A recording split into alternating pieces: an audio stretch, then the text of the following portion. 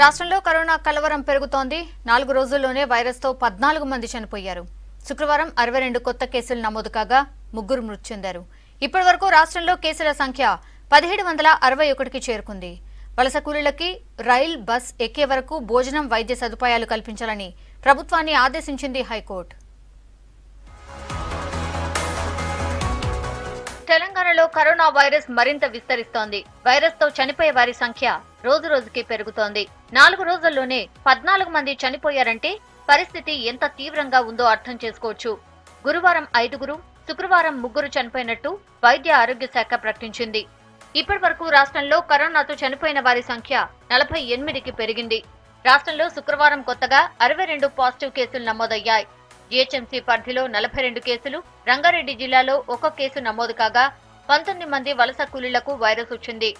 Corona నుంచి కోలుకుని ఏడుగురు discharge అయ్యారు.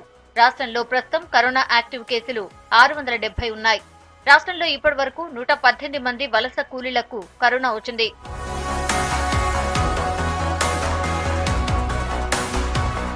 బాలాపూర్ పోలీస్ స్టేషన్ పరిధిలో పనిచేస్తున్న ఓ డిటెక్టివ్ ఇన్స్పెక్టర్కు కరోనా వచ్చింది. కొన్ని రోజులుగా అతను షాహీన్ నగర్లో డ్యూటీ చేస్తున్నాడు. వారం రోజులుగా దగ్గు జలుబుతో బాధపడుతున్నాడు. ఫీవర్ హాస్పిటల్లో టెస్టులు చేయడంతో కరోనా పాజిటివ్గా తేలింది. దీంతో అతడితో కలిసి పనిచేసిన పోలీసులను క్వారంటైన్కు తరలించారు. గల్ఫ్ దేశాల నుంచి వచ్చి హోటల్ క్వారంటైన్లో ఉన్న నిజామాబాద్ జిల్లాకు చెందిన ఇద్దరికి కరోనా పాజిటివ్ వచ్చినట్టు సమాచారం. ఇదే జిల్లాలో మహారాష్ట్ర నుంచి వచ్చిన మరో ఇద్దరికి వైరస్ ఉన్నట్టు గుర్తించారు. జయశంకర్ భూపాలపల్లి జిల్లాలో రెండు రోజుల క్రితం ముంబై నుంచి వచ్చిన వ్యక్తికి పాజిటివ్ వచ్చింది. జగిత్యాల జిల్లాలో శుక్రవారం ముంబై నుంచి వచ్చిన తొమ్మిది మందికి కరోనా వచ్చినట్టు తెలిపింది వైద్య ఆరోగ్య శాఖ.